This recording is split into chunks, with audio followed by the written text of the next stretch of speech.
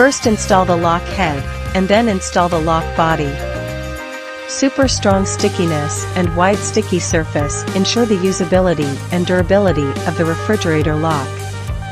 It can easily removed without any residue or damage to the refrigerator surface.